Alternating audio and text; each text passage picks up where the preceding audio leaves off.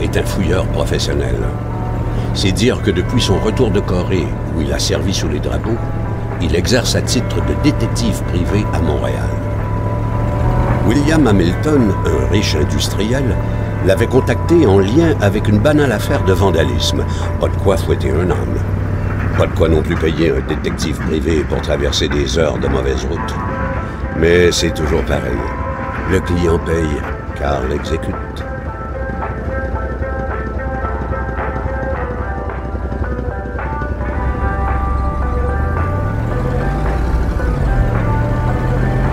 Ils avaient rendez-vous au magasin général. Ça appartenait à son client. En fait, tout le village appartenait à William Hamilton.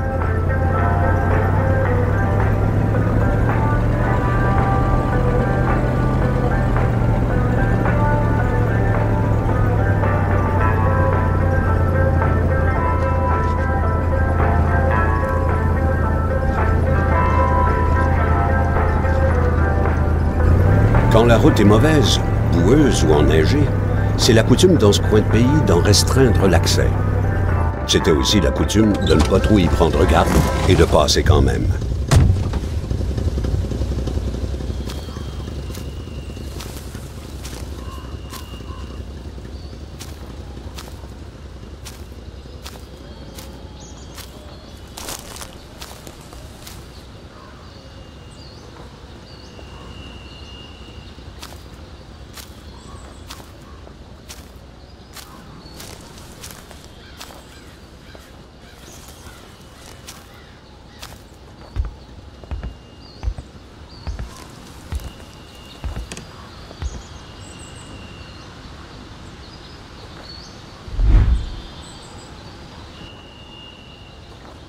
Carl, en détective, traînait toujours sur lui son journal. C'est là qu'il notait les pensées et les pistes qui ponctuaient ses enquêtes.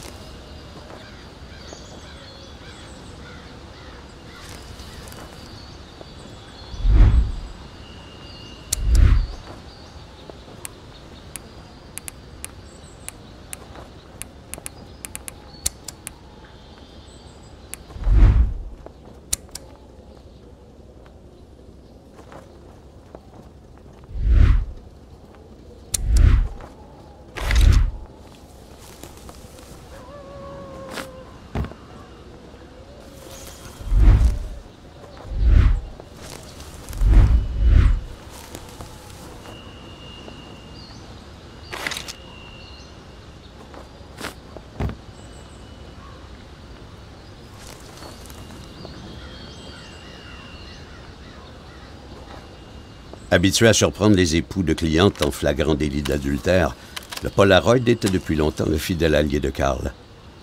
Il a toujours un portrait à croquer de toute manière.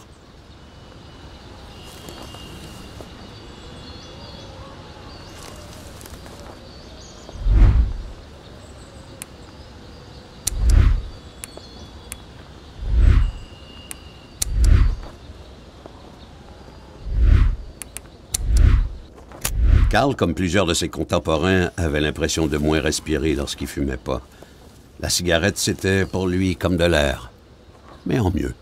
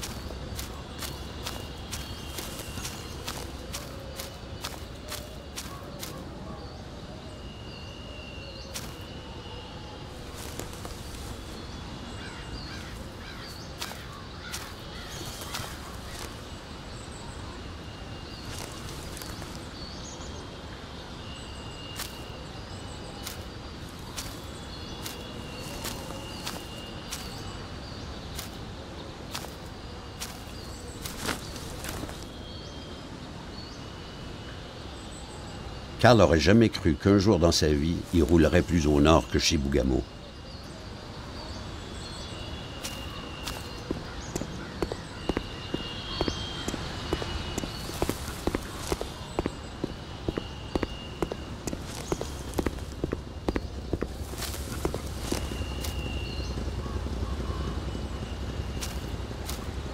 Le magasin où Carl devait rencontrer Hamilton se trouvait non loin de ce lac. C'était la bonne direction.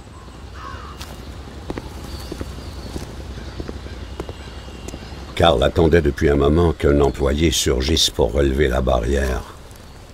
Comme c'était étrange d'ailleurs, une route comme celle-là, ainsi obstruée.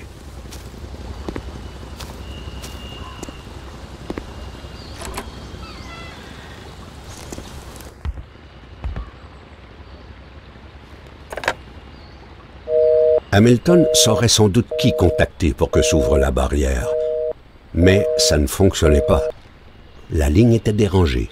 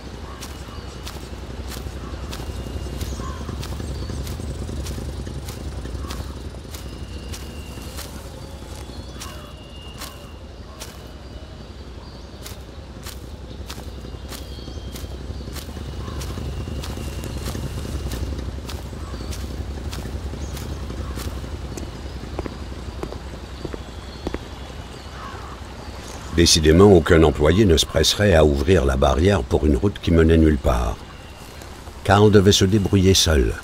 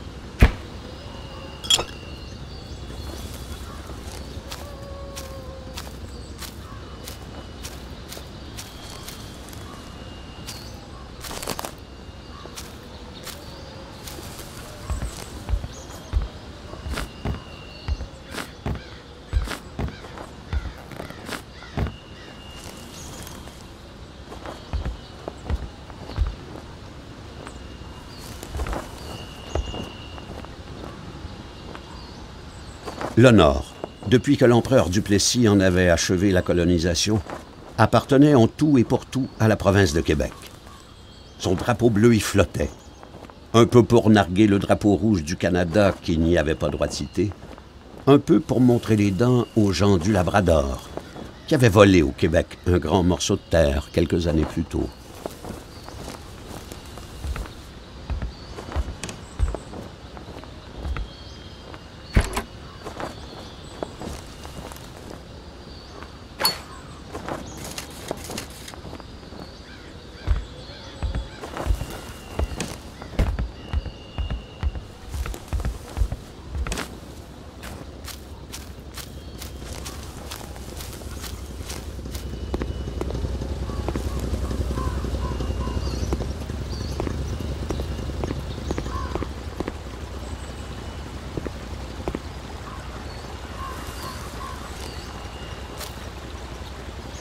Fallait maintenant que Karl remplisse son devoir.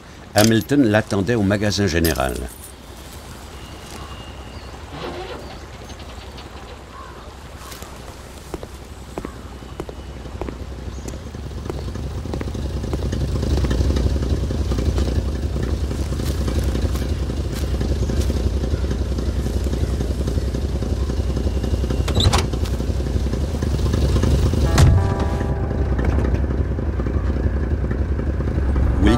Hamilton jouissait d'une vaste maison de campagne au cœur des forêts du Nord, non loin de là.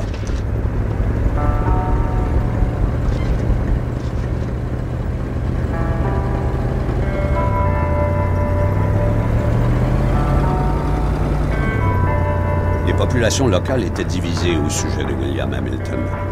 Certains voyaient en lui un philanthrope fortuné au service de l'économie de la région. D'autres le détestaient jusqu'à manigancer contre lui, ce vieil Anglais riche, à tout pour gonfler son industrie.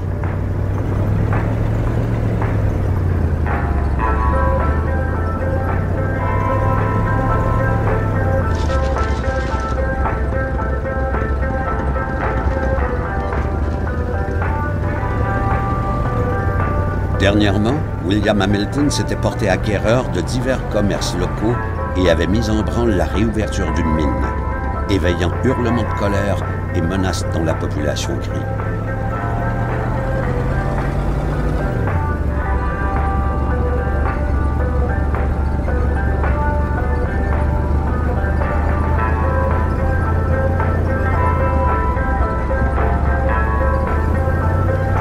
Pour ce qu'on savait, Karl, plusieurs personnes avaient de grands motifs de s'en prendre à William Hamilton. Jusqu'ici, on n'avait attaqué que sa maison. Mais bientôt, pensait Karl, on s'en prendrait aux riches industriels.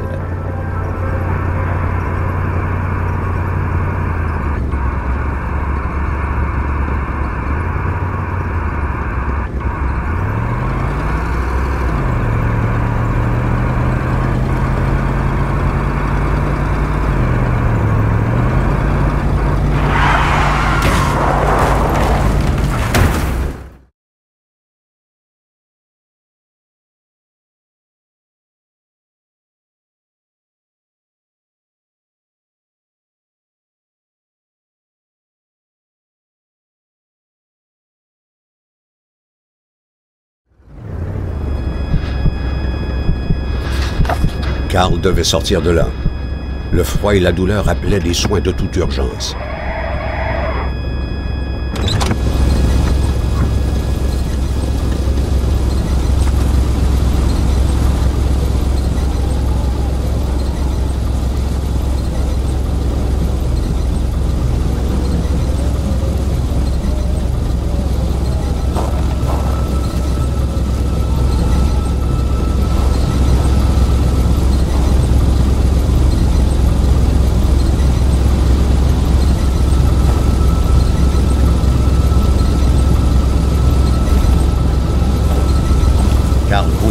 Malgré ses égratignures.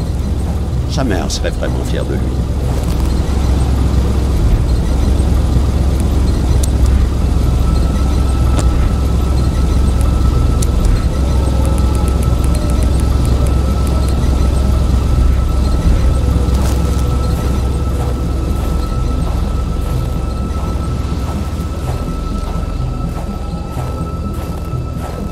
Le chauffeur avait déguerpi. Il fallait tout de même fouiller, ne rien laisser au hasard. Carl avait besoin d'assistance.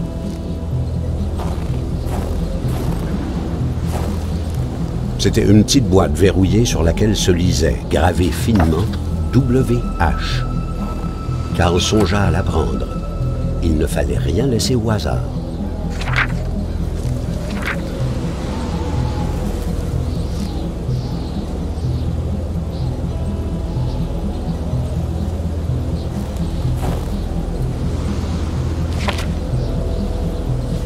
Carl se demandait s'il devait endurer encore longtemps le froid qui lui piquait la peau.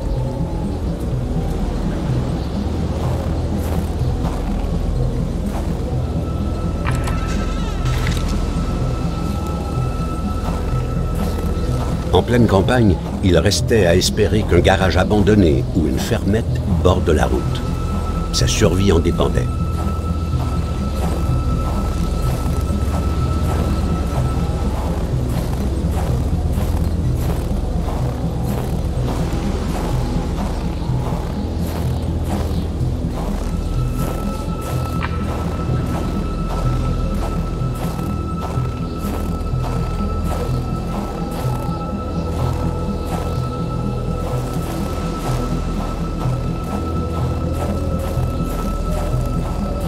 Devenait douloureux.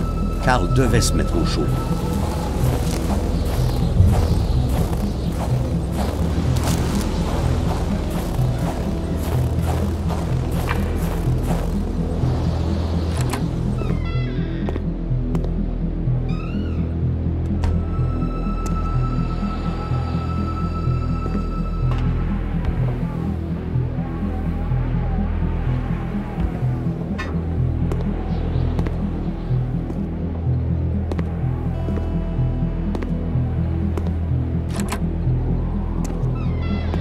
Carl ne pouvait pas se résoudre à abandonner. Quelque chose assurément pouvait lui être utile là-dedans.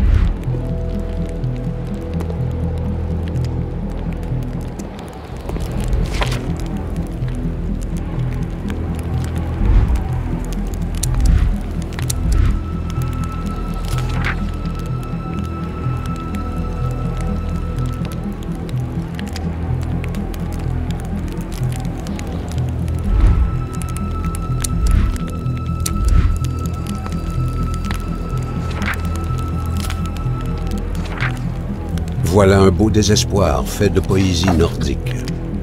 Mais Karl n'était pas très sensible aux phrases pleines de guirlandes.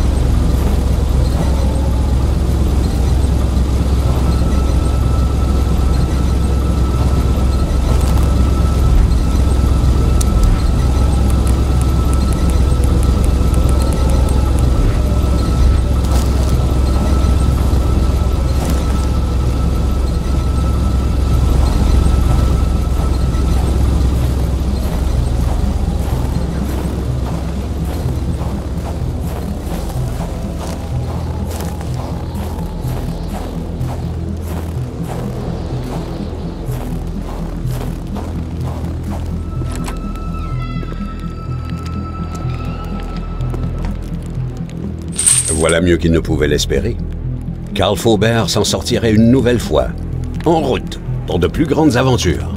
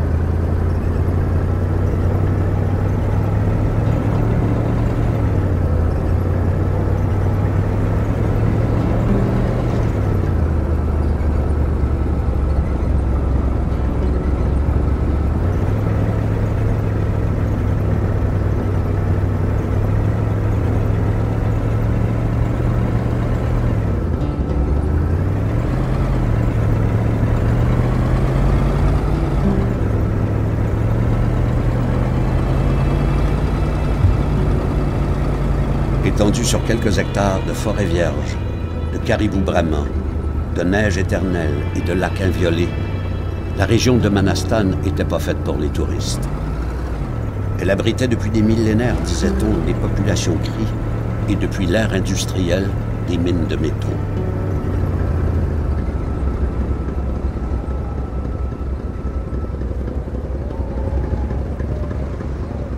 Car ne pouvait pas quitter le camion en si bon chemin.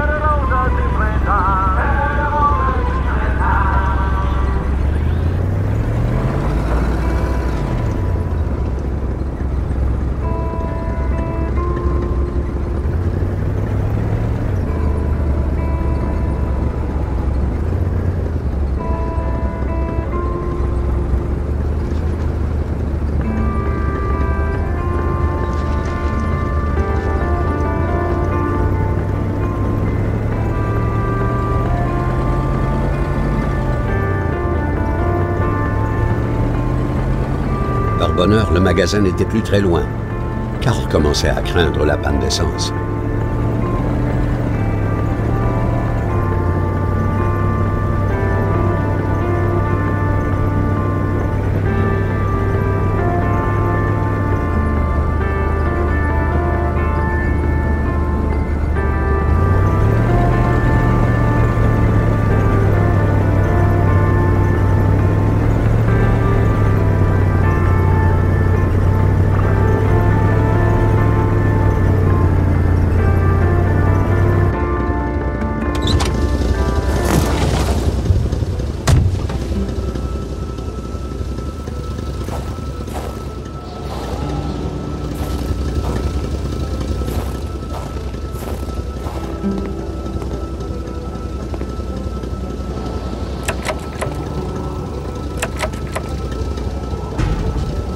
Quelque chose est tombé dans le fond de la boîte.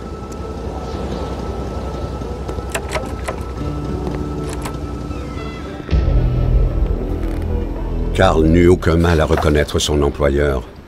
Il avait été assassiné. Il ne fallait pas être détective pour le constater. Mais il fallait être détective pour noter que le tueur se tenait tout près, que le coup avait été porté sans que la victime ne se défende.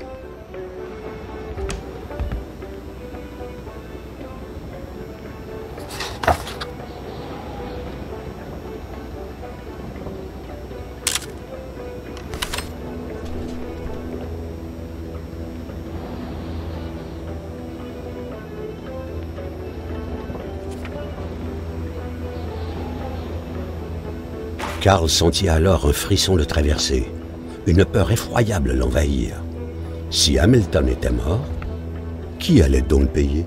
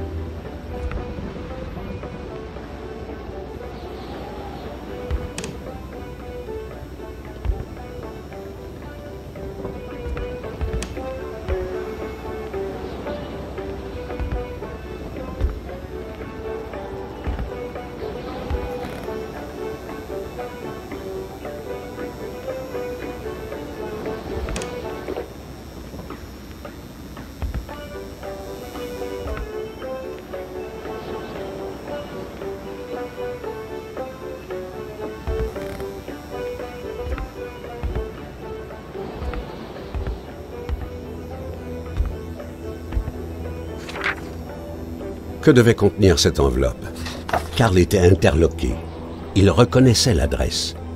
C'était là, disait-on, que le service secret du Canada avait sa boîte postale.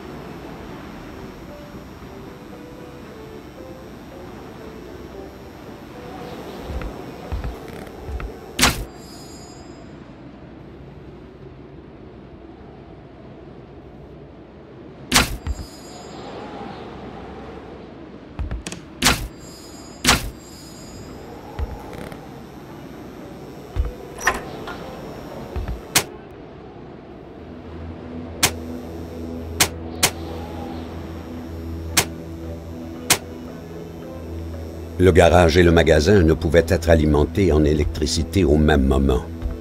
La note livrait là un sage conseil. Le garage et le magasin ne pouvaient être alimentés en électricité au même moment. La note livrait là un sage conseil.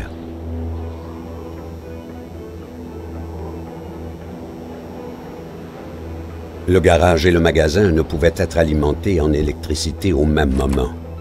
La note livrait là un sage conseil.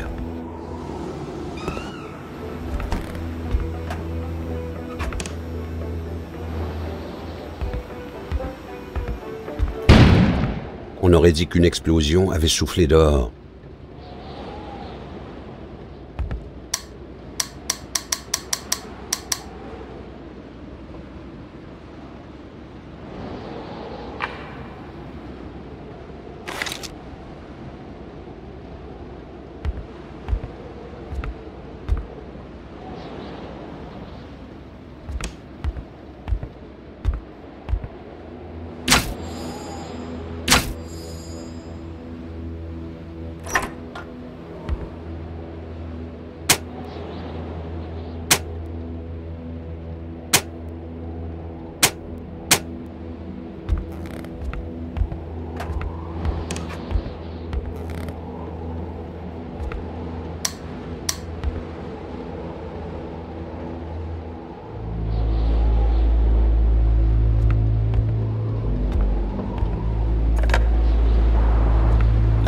Tout sans distinction. Karl constata sans surprise la ligne hors service. Comme le savait Karl, Gilles Lachance tenait le magasin général. Ça faisait de lui un employé de Hamilton. Un employé fort mécontent, comme Karl pouvait en juger.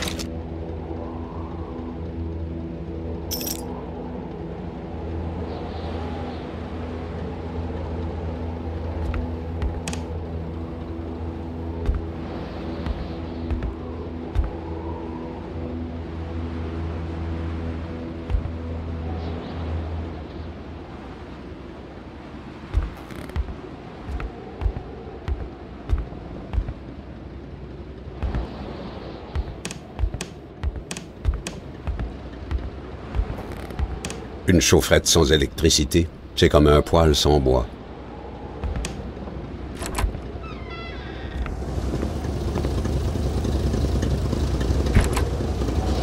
L'arme du crime.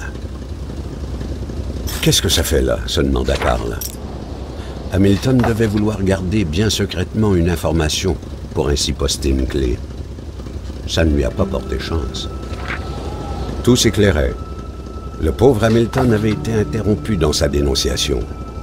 Il avait cru bon de tout verrouiller, d'envoyer la clé à son correspondant et de mettre la boîte à la poste plus tard. Habile, mais pas assez. Voilà où s'amènent les gens ordinaires de jouer aux espions.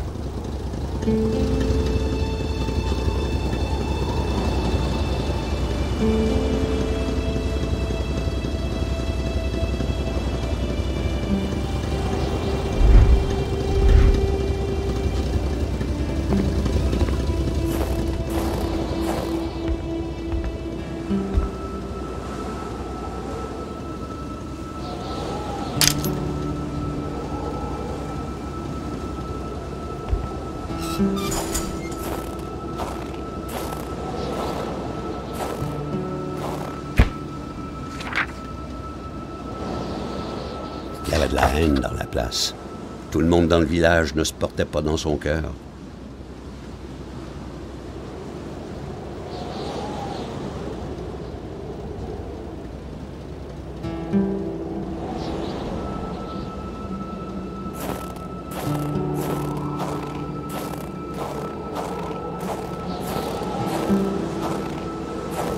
Carl était habitué aux choses étranges. Mais une glace comme ça, comme un iceberg sorti du sol, il n'en avait jamais vu avant.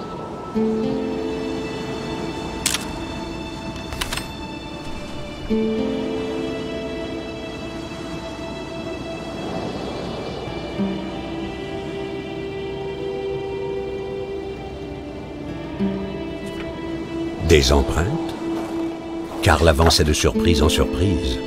Était-ce au défaut de l'appareil ou une piste à suivre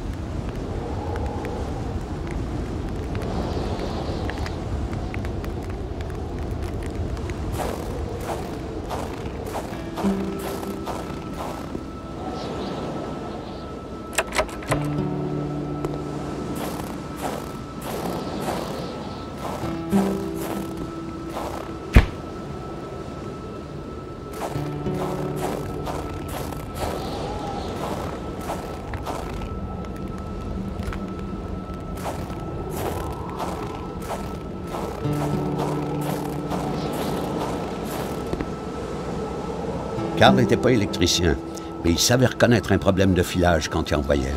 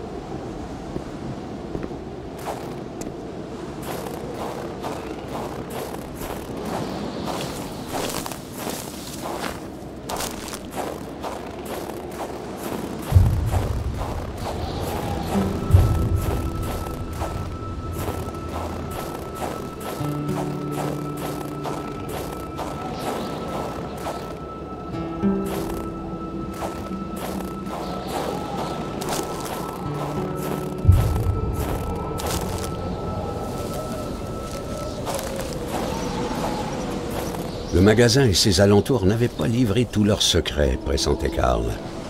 Il n'aimait pas passer à côté de quelque chose.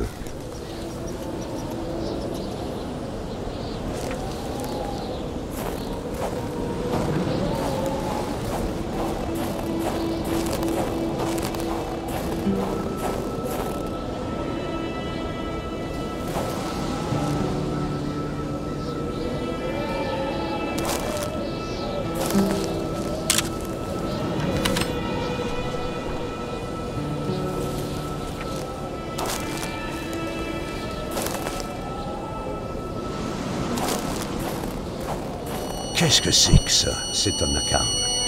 Ça ressemblait à un homme fossilisé dans la glace. Soudain, ce fut comme si Karl s'évanouissait dans un monde de rêve. Il se sentait sombrer dans une dimension froide où tout échappait à son contrôle.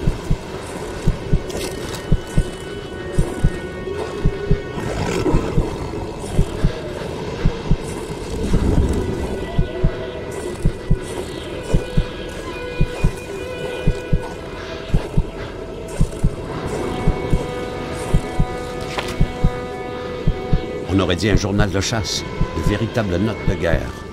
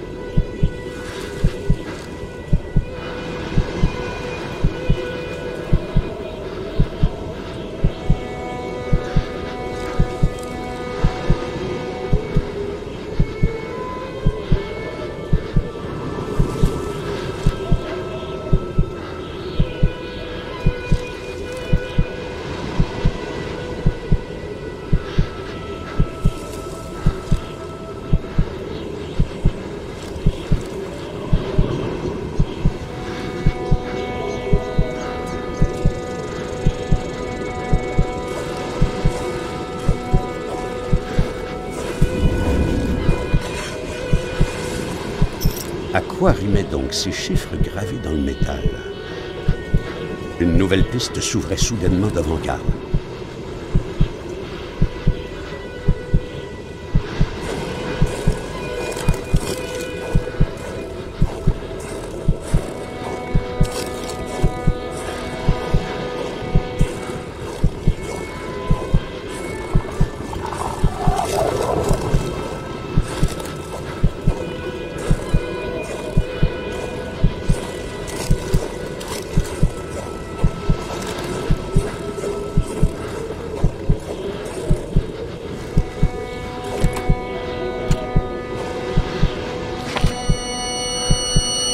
Eut cette impression qu'on a lorsque les mains gelées on les plonge sous l'eau chaude. Que s'était-il passé? Un fait demeurait. Il savait maintenant que le pauvre homme tétanisé dans la glace était le tenancier du magasin général, Gilles Lachance.